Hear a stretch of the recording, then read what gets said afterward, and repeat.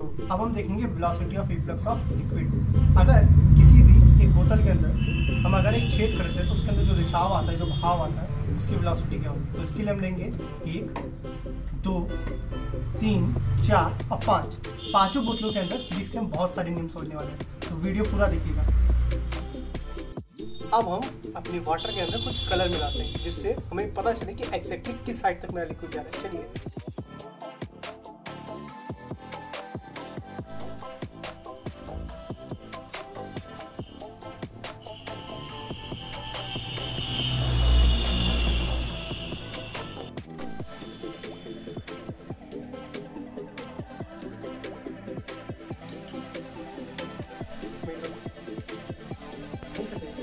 देखिए, हमारा पानी अब हो गया कलर। और अब हम इसको डालते हैं अपनी बोतलों में।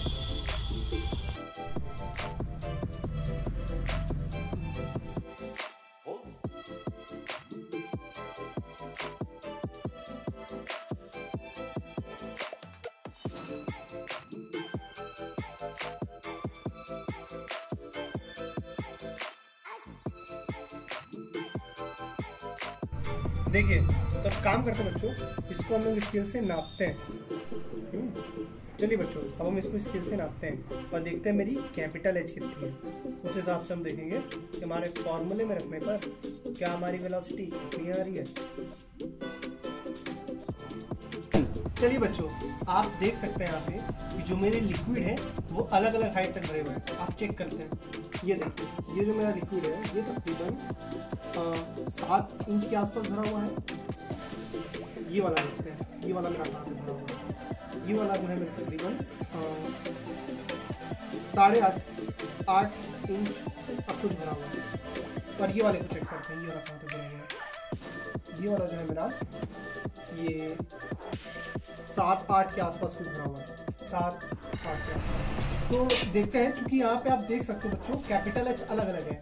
अब मैं इसके सरफेस से सबके अंदर सेम डिस्टेंस के अंदर, जिसमें मेरा स्मॉल एज होता है सेम डिस्टेंस के अंदर मैं क्या करूँगा, एक छेद करूँगा और देखता हूँ क्या सबकी वेलोसिटी सेम आती है।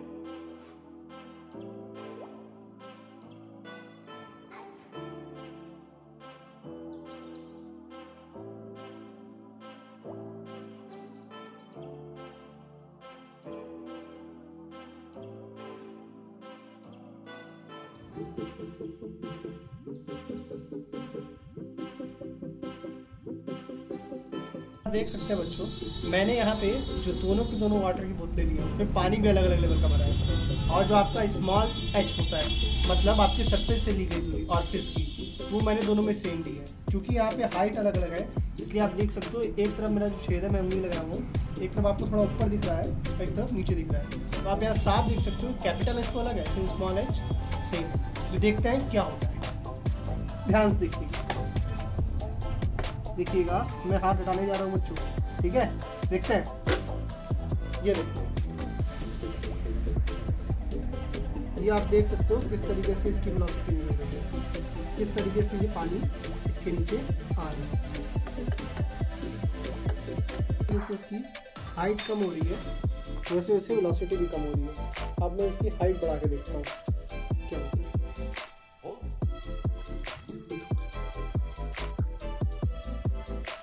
ये देखो बच्चों। क्योंकि यहाँ पे आप देख रहे हो ये जो स्मॉल एच है मतलब सरफेस ली है, वो बढ़ गई। इसलिए जो वेलोसिटी है फ्लक्स की, वो भी बढ़ गई। जैसा कि आप देख सकते हो ई फ्लक्स की जो वेलोसिटी भी बढ़ गई। अब मैं इसको देखता हूँ। ढक्कन देंगे? ये देखिए। इसको मैं रोक देता हूँ। ओके? अब हैं। जो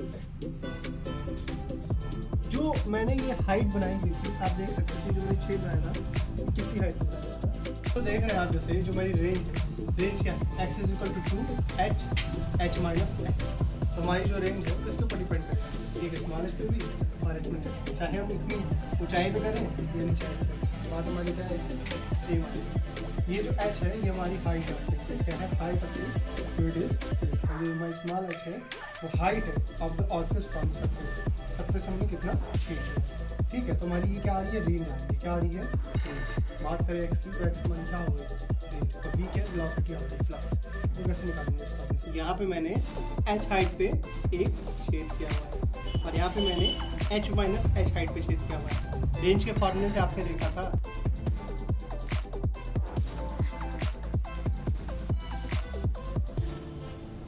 ये देखिए, आप जैसा देख सकते हो बच्चों, एक हाइट यहाँ देखिए ऊपर है। और एक हाइट ये नीचे है, लेकिन दोनों के दोनों सेम डिस्टेंस पे जाके गिर रही है। और आप यहाँ पे फिजिक्स का लॉ देख सकते हो बच्चों। दोनों की दोनों सेम रेंज पे गिर रही है। सेम रेंज पे। मतलब आपकी एक्स की वैल्यू क्या आ रही है? सेम आ रही है। यहाँ से एच और यहाँ से एच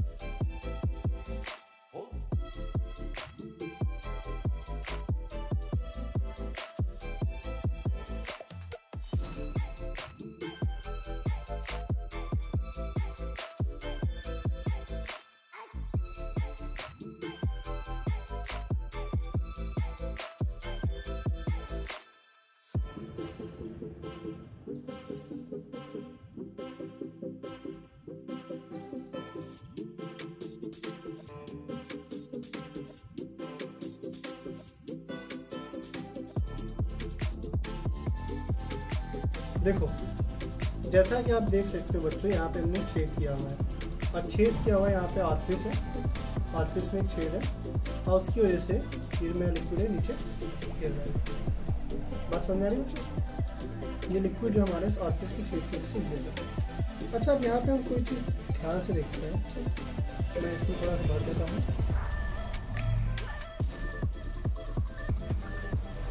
आप देख सकते हो बच्चों इस लिक्विड के अंदर ऊपर से एयर का प्रेशर लग रहा है। तो यहाँ से लिक्विड का लग रहा है।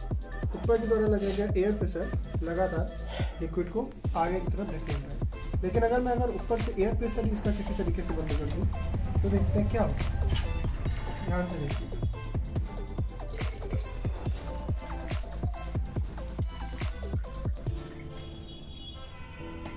ध्यान से देखिएगा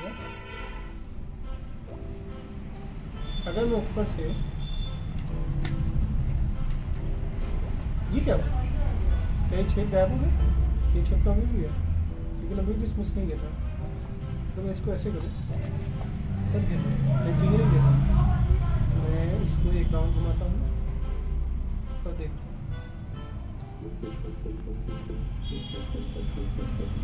लिक्विड अच्छे से? नहीं आ रहा लेकिन अगर इसी की जगह में एयर प्रेशर आने देता हूँ। तो आप देखेंगे लिक्विड प्रेशर मिलेगा मैंने बंद कर दिया। फिर मैं खोल देता हूँ। फिर मैं बंद।